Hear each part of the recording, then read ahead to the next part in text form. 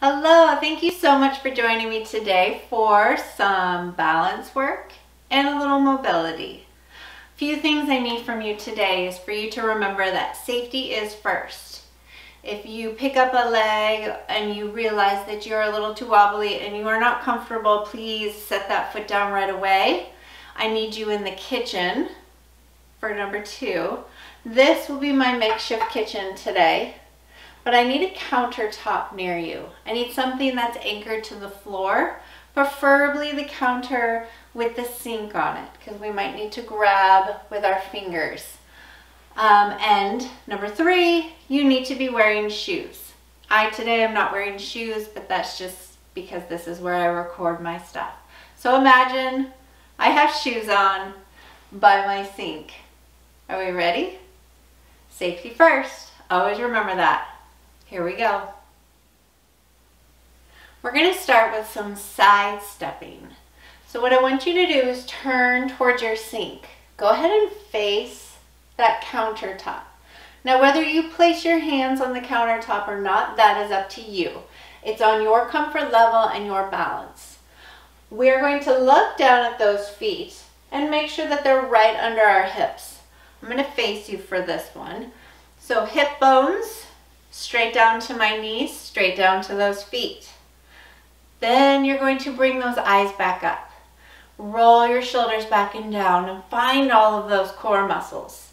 They're in there. You just have to get that squeeze going. Once you have that, we're going to shift our weight to the side, pick up our leg and side step. Bring those feet back together and side step bringing those feet back together. Now I have a small space to work in here. What I want you to do is work the length of your counter. So we go side to side depending on the length of your counter. So you might still be going one way, whereas my space is little. So I have to shift back and forth. Now as we shift here, I want you to think about loading those feet. Okay, so we're gonna slightly lean to one side, pick up our foot, and shift our weight. Bring the other one back under, even out your weight, lean, shift, and even up your weight. That's what we're doing.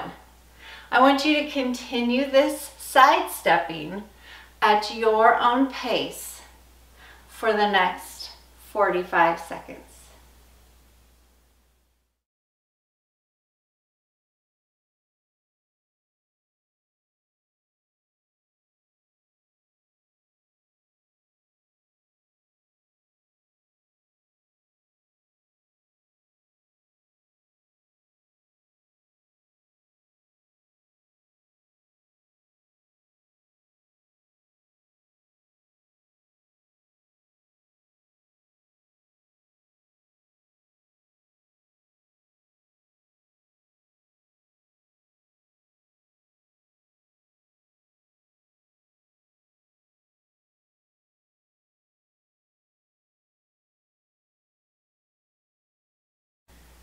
Good job. How did that feel? We're sidestepping experts now, yes? Also, if any point in time in this video you want more time in a move, just hit that pause button, okay? Let's go ahead and turn and face our sink. We're gonna place our hands on the counter as an option. But I want you to do that just this first time for me. Place your hands there. Make sure that you are within grabbing distance of that counter. So you might want to step a little closer to it because what we're going to do is we're going to take a step back.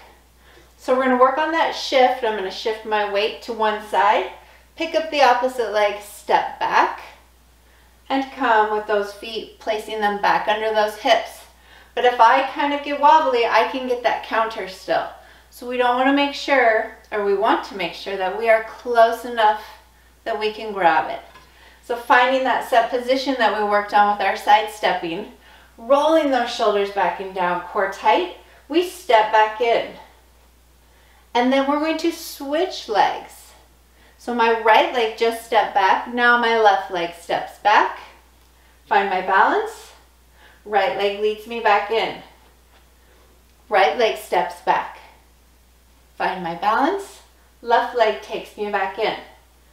Now if that's just too much, you can stick with one side the whole time and just go right leg, now left leg, and left leg takes you back in.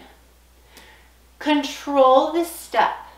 So don't let momentum push you forward and back. I want those abdominals tight, finding those leg muscles shifting through your weight forward and back. As we shift forward and back, making sure that those feet stay in line with those hips. Keep it going for the next 45 seconds.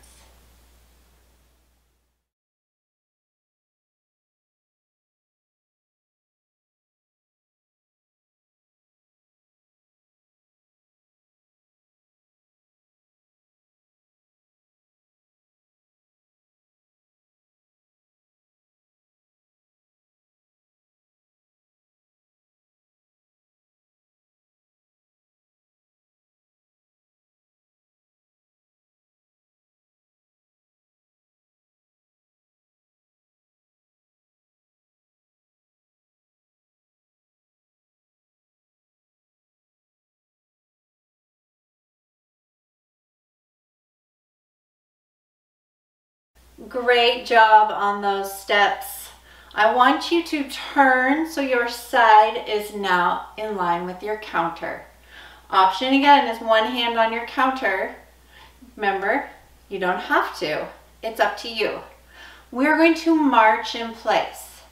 We want to find our balance way back in the beginning, like we did. Square those feet up under those knees and hips. Finding our abdominals. Roll your shoulders back and down lift your eyes up, okay? Look ahead. Hopefully you have a window in front of you to look at. If you're looking at me and you're looking down, try to just glance at me and then come back to yourself, bringing those eyes back up. So option is to place one hand on your counter or you leave your hand off and we march in place. So we shift through our body weight, lift one knee, drop, shift, lift the other. This speed of your march and the height of your knees is up to you. Do you see a theme here? This is your balance work. So if you need to slow it down, do it. If you need to lift those knees a little lower, do it. If you're like, oh, I got this, this is too easy, lift them higher. But when you come up higher, be concerned and make sure that counter's there because it's going to pull you off balance. But what I want you to really focus on through these knees is the shift in your weight through your core, through your abdominals. You're doing great. 45 seconds. All you. Go for it.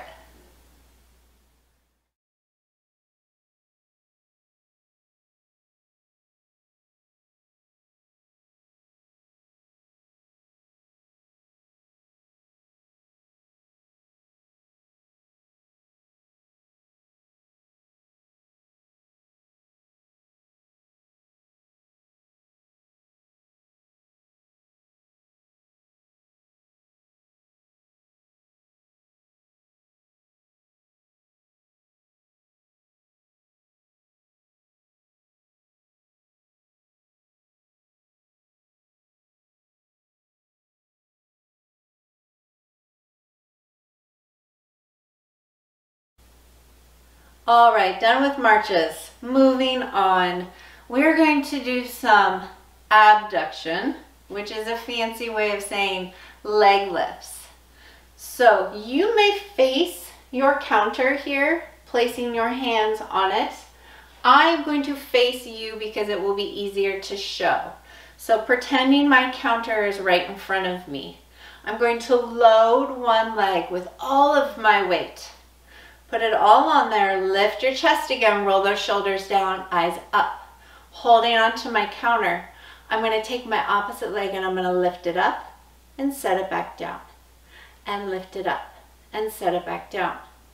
Now something I want you to notice with my foot is that my toes face you. I almost want you to think about lifting through your heel. Give one more. And then we're going to equal out our weight, find our balance again, load the other side, and we lift and set it down. And lift. Good. So you might notice that one side is stronger than the other. Making sure that that stabilizing leg is not locked. We keep it going. Hold, shift that weight, find your balance, load the first side again. Here we go for five and four. Toes are pointed at me. Three, core tight, chest is lifted. One more. Set your foot down, equal out that weight. Load the opposite leg, core tight, lift for five and four. You have three, two left, and you are on your own for 45 seconds. One more. Keep it going. Your pace, five each side.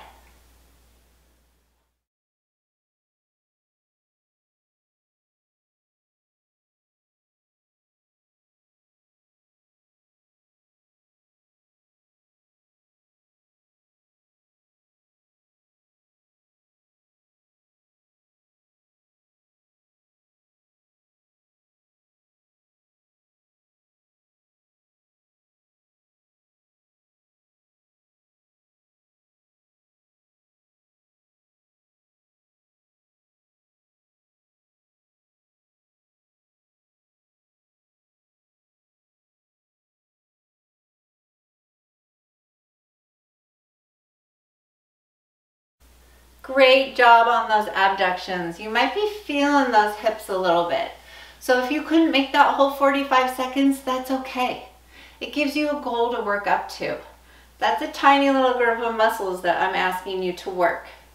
We're going to take our legs and we're going to work on hip extension. So we're going to face our counters again, getting those hands on the counters, getting those feet right under those knees, knees under those hips, Knees are soft. Roll your shoulders back and down, core tight. Placing our hands on the counter. I want you to shift your weight to one leg, like we did on those leg lifts. We're going to pick up one leg and lift it straight back and tap it down. Now you notice when I lift my leg, my chest stays up. So if you lift and you hinge forward like this, then you might be lifting your leg too far for you. So you really want to focus on squeezing those glutes, lifting your chest, core tight. Let's go ahead and set our foot down here. Shift your weight onto that leg, opposite leg lifts, and we bring it down. You might have more range of motion on one side versus the other. A lot of us are like that. I would say 100% um, of us are like that. So don't beat yourself up if you can't get one leg high enough. And set it down. Shift your weight. Equal out those feet. Make sure you are back at your home base. Shift over to one side. Lift your chest and lift for five and four, three, two. Give me one more here. And we set it down. Shift your weight all the way over. Take that left leg lift for five and four, three, two more. Last one here. And we set it down, equal out your weight. Make sure you feel okay. And we start again for five. I want you to continue this at your own pace. Keep that chest up, eyes forward.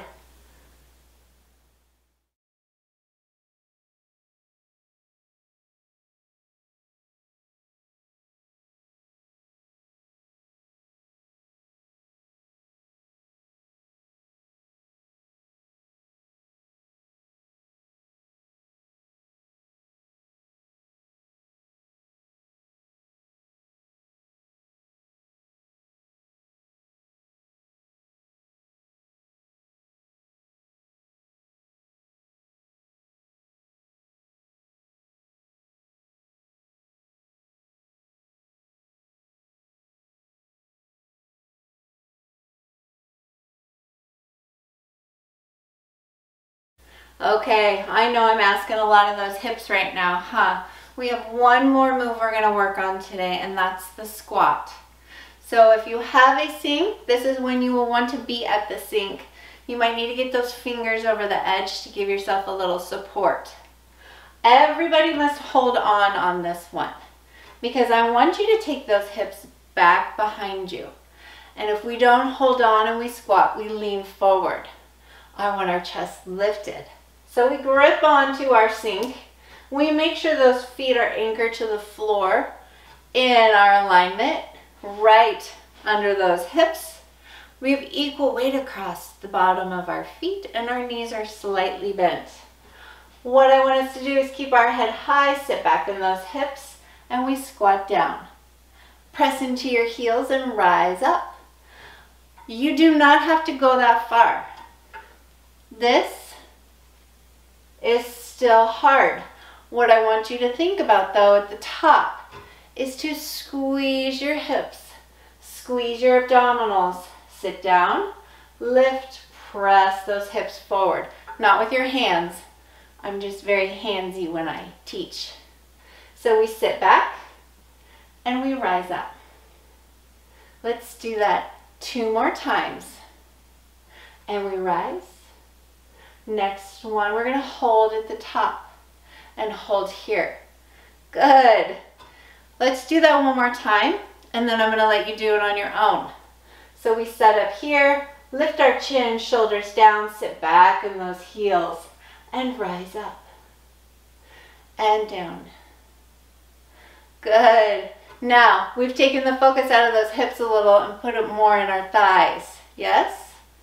You've got this. You're going to give me two more here. Last one. Hold at the top, a little shake out with those legs. Last set is on you. Pick your pace, pick your depth. Go for it.